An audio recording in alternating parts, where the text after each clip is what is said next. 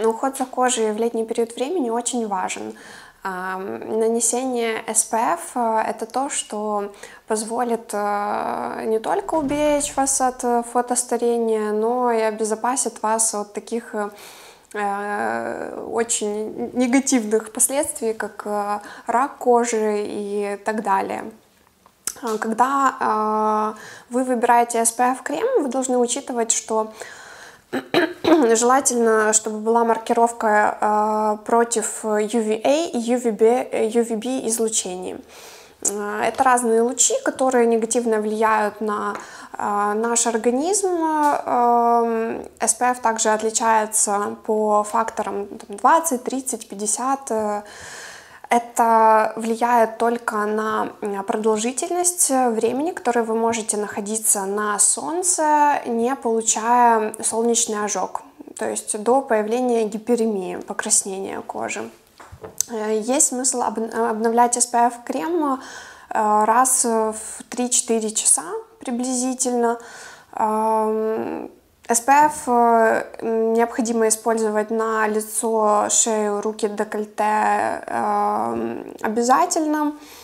Это надо использовать не только, а, например, летом, но и э, сейчас есть э, специальные уходовые средства, которые можно использовать осенью, зимой, весной. Если вы едете, например, на лыжи, вам необходимо 100% использовать SPF, э, как в летний сезон, потому что кожа подвергается очень активно солнечному излучению.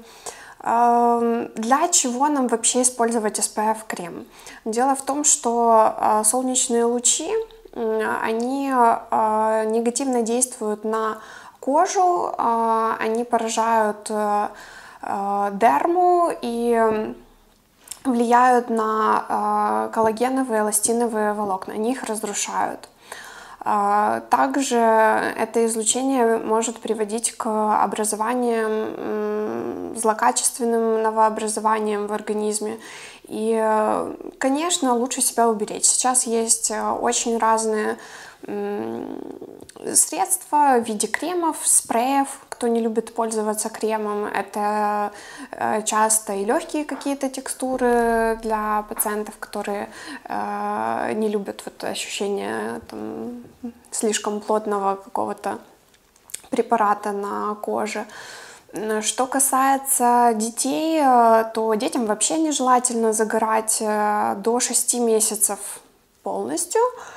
После шести месяцев, э, во-первых, обязательно наносить ребенку SPF, и что касается детей, и взрослых, э, SPF наносить надо не тонким слоем, а хорошим слоем, для того, чтобы он действительно защищал и сохранял свои э, базовые функции. То, что солнце это единственное а, возможный фактор для выработки витамина D в организме.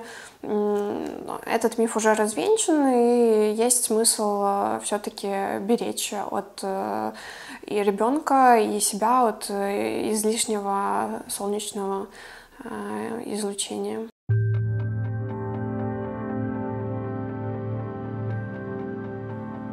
Есть разные средства SPF-защиты. А, часто я сталкиваюсь с тем, что пациенты жалуются, что при покупке средств э, из масс-маркета, там каких-то аптечных серий, они ощущают э, ну, чувство тяжести, вот, э, неприятной жирности на коже, там, лишнего блеска и так далее.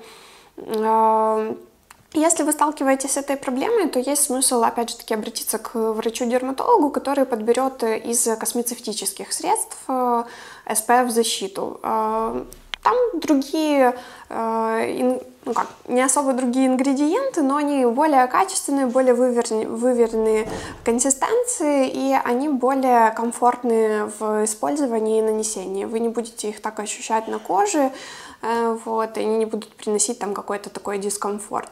Из моих любимых, там, это генозис, например, Вико э, защита, если это аптечные, то там классика Ля Рош, Э, хотя, ну вот опять же таки, многие пациенты жалуются на то, что есть ощущение вот, э, пленки там какой-то на теле, тогда все-таки космецевтика, тогда у своего врача-дерматолога вы можете заказать вот такое вот средство.